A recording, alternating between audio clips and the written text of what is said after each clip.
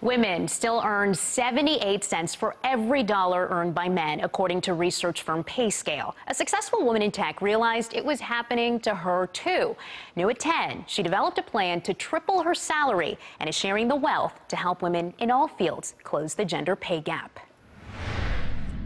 I ended up changing my life. Lauren Hasson travels around the country inspiring women to ask for the money they deserve. I tripled my salary. Five years ago, it was the software engineer who needed a little inspiration. It was like a punch in the stomach. When a male colleague complained about his salary openly, Hasson realized she was part of a statistic. 63% of the time, women in tech are offered lower starting salaries than their male counterparts. And mind you, I was managing him and training him, but he had been hired on at 50% more than when I was at his level. It was the push she needed to invest in herself, spending thousands to learn negotiating techniques from the pros.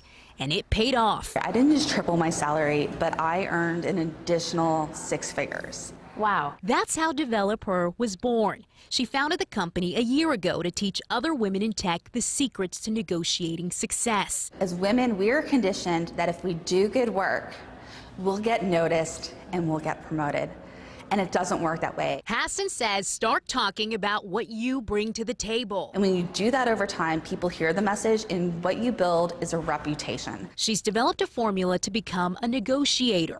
First, ground yourself in data. Go figure out what you're worth.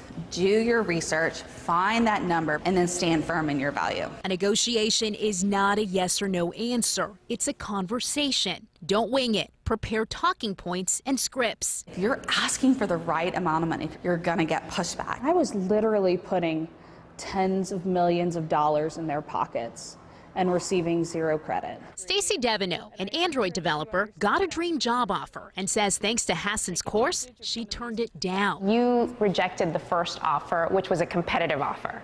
Which was a very competitive offer, yes. And that was uh, very difficult.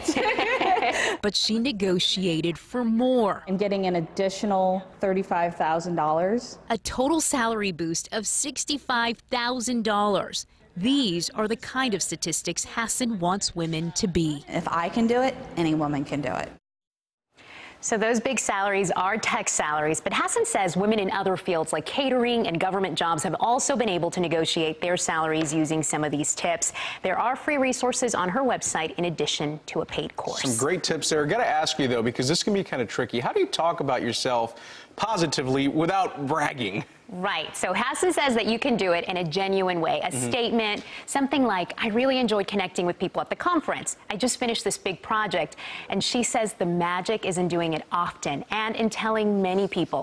People who influence your career have to know you for what you do. Well, some great tips again. I think uh, for both women and men, really. I mean, you know, the the, the, the, the ability to be as confident as you need to be to stand there and uh, demand what you're worth. And that's the key word: confidence. Yes.